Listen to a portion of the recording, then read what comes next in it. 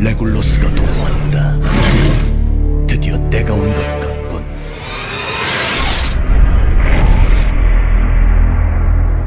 이대로 지켜볼 건가요? 최후의 날, 어센드로 부활하여 소울을 받은 자들에겐 이날의 재앙이 기억될 것이다. 침공이 시작되고 텔라라의 모든 것들이 파괴되고 있어요. 우리가 과연 해낼 수 있을까요? 이 모든 것들이 끝나지 않는다면 그 누구에게도 죽음은 허락되지 않는다. 이제 우리에겐 패배는 없다.